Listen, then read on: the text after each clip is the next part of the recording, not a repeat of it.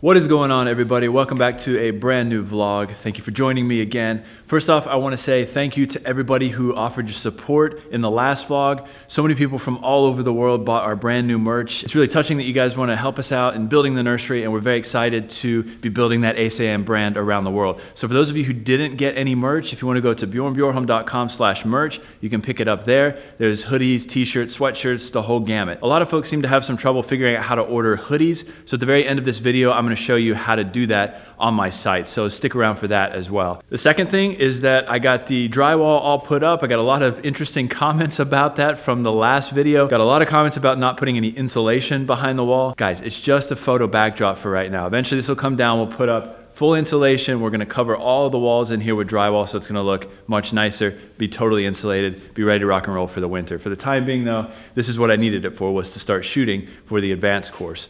That brings me to the next thing that I've been working on. All this week I've been working on the advanced course, filming, got a lot of trees done, ready to rock and roll, so we're good. We're on track for the release this coming May of the first half of that course. So I'm very excited about that. I'm gonna show you guys a few of those trees that we've been working on, but first I got to fly to New York for a few days to do some work on a private collection. So let's head out.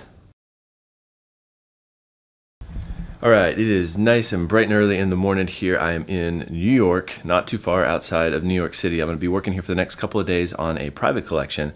Fella named John wrote me and asked me if I could come up and work on his Japanese maples. We actually stopped by his house last night after he picked me up from the airport and check him out.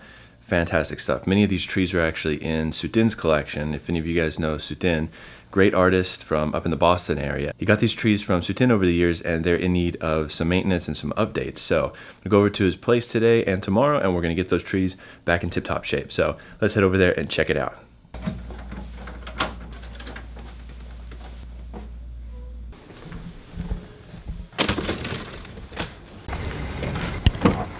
My man. How you doing? Good. How are you? I'm doing all right.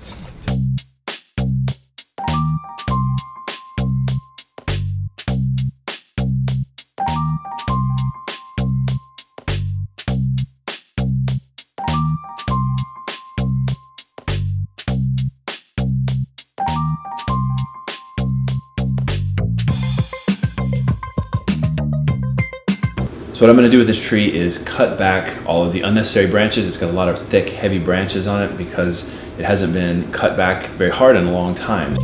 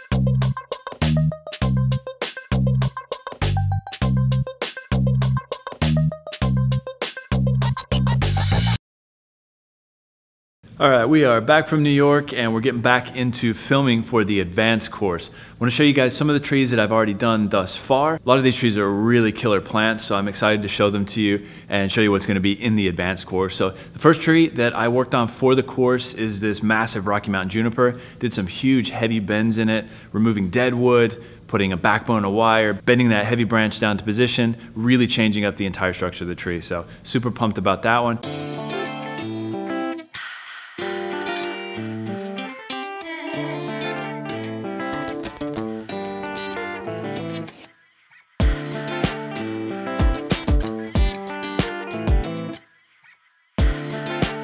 Second tree was another Rocky Mountain juniper. This is actually my favorite tree that I have in my personal collection here in the States right now. Tree's probably 400, 500 years old easily. Absolutely killer piece of material. I've shown it a few times in past vlogs, but this is the first time I've actually been able to work on it. The whole point of using this tree in the advanced course is to show how you can have a tree from the mountains with good bone structure and build that into a fantastic bonsai in a very short amount of time.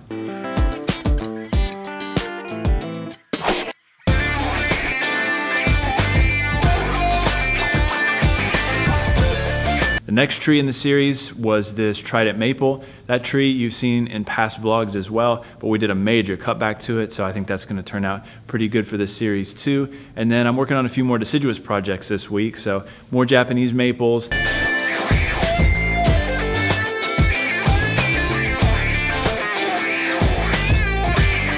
I've got this Styrax japonica right here behind me. That's the next project in the series. It's a Japanese snowbell. So we're going to be doing some refinement, silhouette work, wiring, and discussing how to move this tree forward into the future. So again, be on the lookout for this advanced course. We're going to be making a lot more announcements about it coming up to the release in May of 2018. We're actually doing a two-part release. So there'll be one release that comes out in May and then another release that comes out in September of 2018. So I'll keep you guys posted on all of that. That brings us to the end of this vlog, but I'm gonna show you guys before we sign off how to order a hoodie on my site. So stick around for that if you're interested in buying a hoodie. Otherwise, I will see you guys next time. Take care.